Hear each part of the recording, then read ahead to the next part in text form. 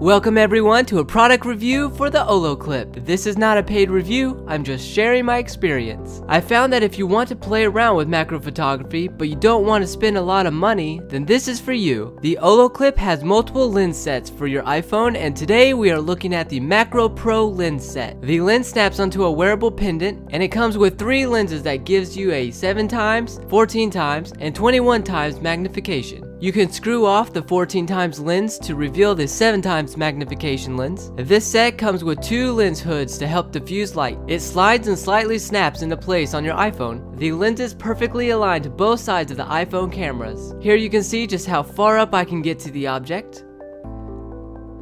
This is video of the iPhone itself through the lens.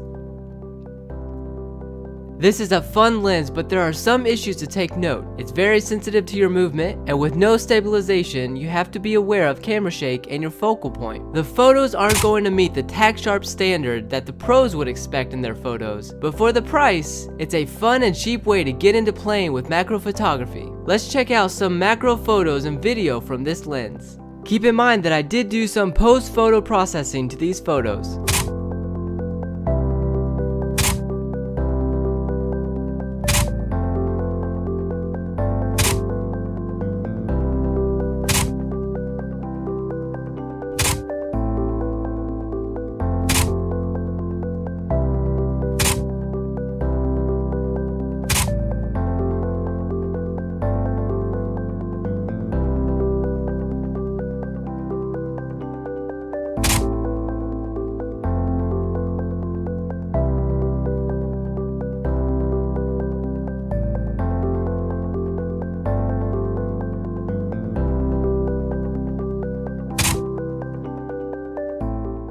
Alright, there you have it. The Olloclip Macro Pro lens set is a fun little toy that costs around $70. It's fun to keep around in your pocket and practice macro photography with. And just like my other videos, I want to know which is your favorite photo from this. Cast your vote by leaving a comment below or clicking the poll to let me know. I'm going to give you my favorite pick out of these three as a free download so you can do whatever you want with the photo. Enjoy guys and don't forget to like and subscribe to my channel for upcoming macro photo adventures.